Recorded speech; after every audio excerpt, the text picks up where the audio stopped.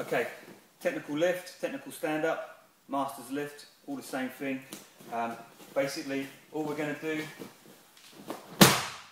break fall and stand up.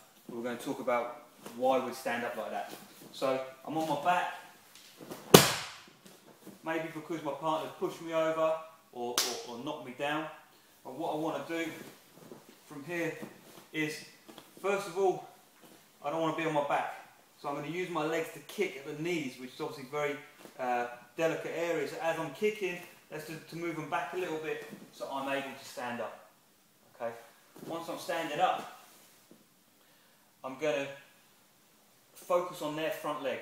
So if their front leg, just come forward a bit, mate. If their front leg is their right leg, I'm going to use my left leg to kick with. And if I kick with my left, I post with my left hand. Here. So I can kick the knee and then stand up.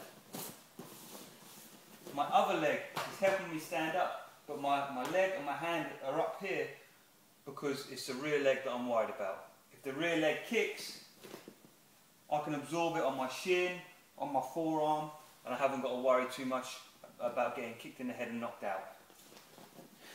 So as I kick the leg here, one, I can stand up.